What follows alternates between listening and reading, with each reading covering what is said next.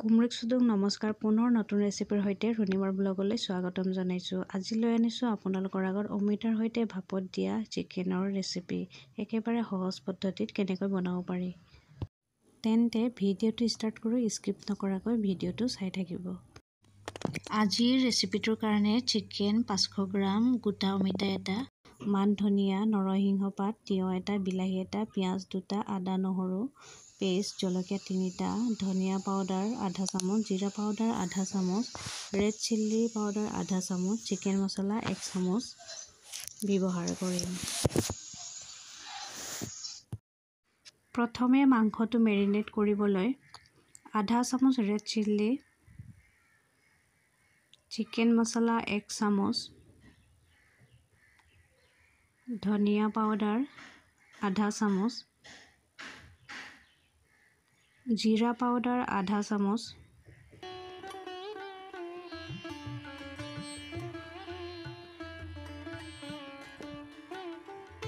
আদা নহৰুৰ পেষ্ট এক চামুচ।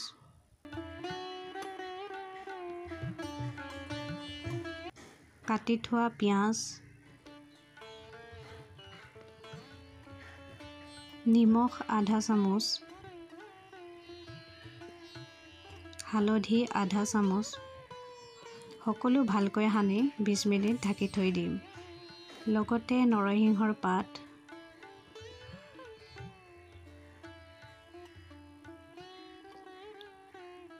মান ধনিয়াৰ পাতবোৰো কাটি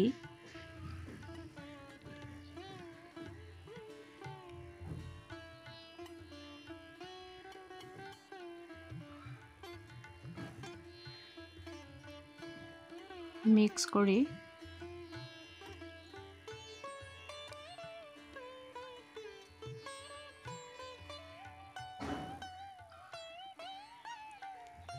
ঢাকি থৈ দিম এতিয়া অমিতাৰ বাকলিটো গুচাই লওঁ।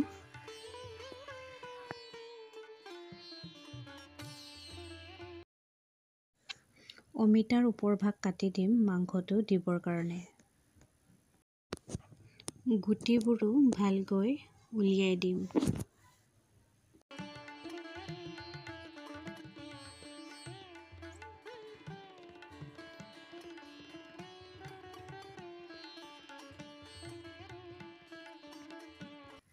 অমিতাৰ বাকলিটো গুচাই হ'ল। মাজে মাজে অলপ কাটি দিম যাতে মাংসবোৰৰ সৈতে ভালকৈ সিজে। অমিতাটো ধুই ল'লোঁ ইয়াৰ বাহিৰ ফালে অলপ নিমখ হালধি সানি দিম।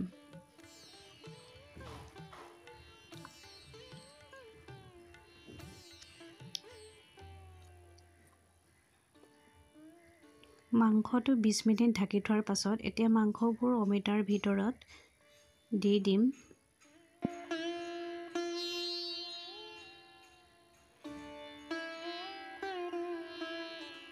ভালকৈ পূৰা টাইটকৈ ভৰাই দিম।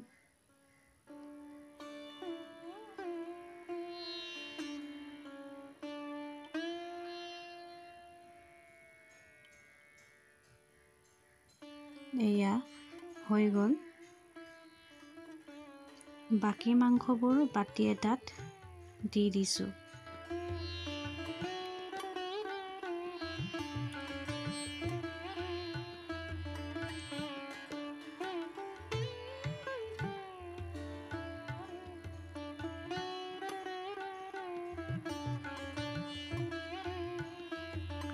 লগতে কাটি থোৱা তিয়ঁহ কাটি থোৱা বিলাহী বাতিটোত দি দিছোঁ।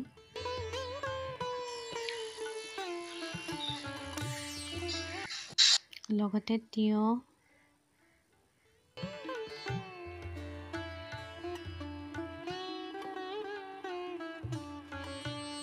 অমিতাৰ ভিতৰত জলকীয়া তিনিটা সোমাই দিম কেঁচা জলকীয়া। জলকীয়াবোৰ সোমাই লওঁ ভালকৈ।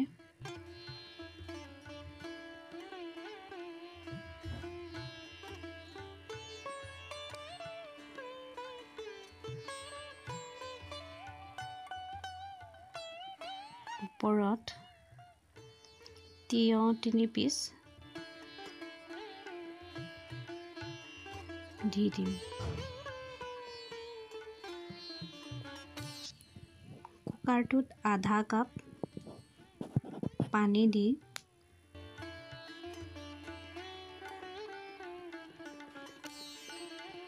প্ৰথমে মাংস বাতিটো দি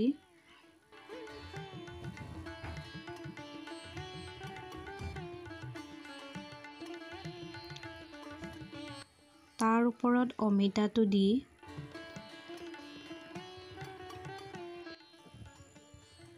কম ফ্লেমত সাতবাৰমান চিটি মাৰিব দিম।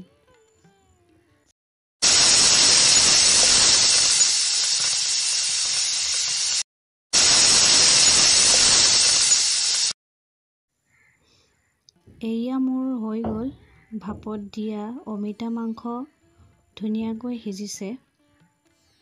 মাংসবোৰো ভালকৈ সিজিছে।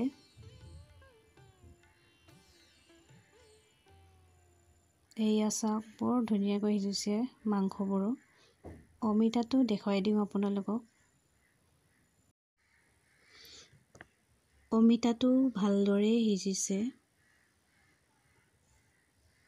কোমল হৈ গৈছে পূৰা।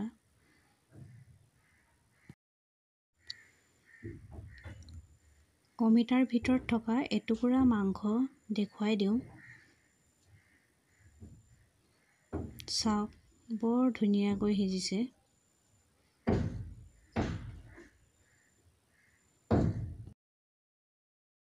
আপোনালোকেও এবাৰ ট্ৰাই কৰি চাব আৰু কেনেকুৱা পায় কমেণ্ট কৰি জনাব নাপাহৰিব।